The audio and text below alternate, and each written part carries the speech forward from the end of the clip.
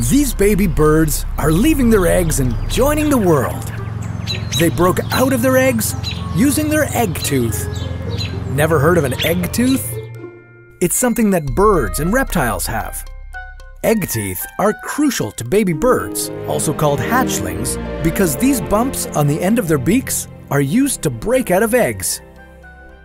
So, what else is different about baby birds?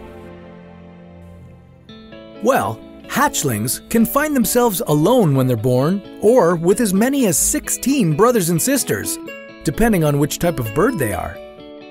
How fast they develop depends on the species of bird, but all baby birds go through the same basic steps. Hatchlings may spend anywhere from a few hours to a few days breaking out of their eggs.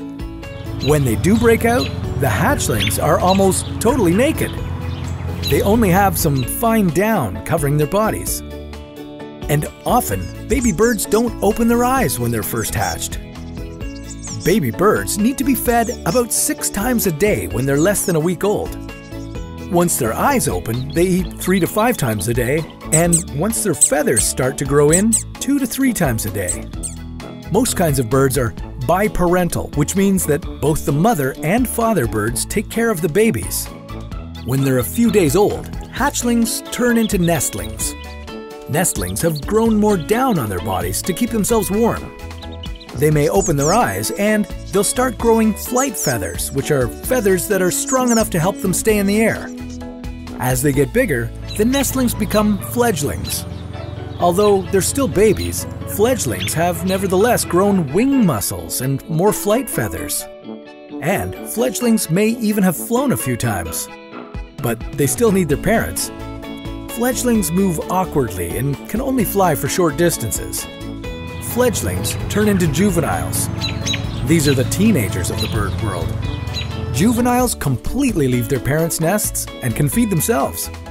They are fully feathered, but their plumage isn't as bright as an adult bird's, and they don't have many markings. They cannot reproduce. But unlike teenagers, a young bird goes from adolescence to becoming a subadult. Subadults are young birds that are stronger and older than juveniles, but they're sexually immature, so they can't reproduce yet. They look a lot like adults, but they still don't have plumage that's as full and brightly colored as an adult bird's. The fully grown birds can have babies of their own now, so they find mates and the cycle begins again. Breaking through their eggs with egg teeth and learning to fly. That's what baby birds do. And that's what makes them crazy creatures.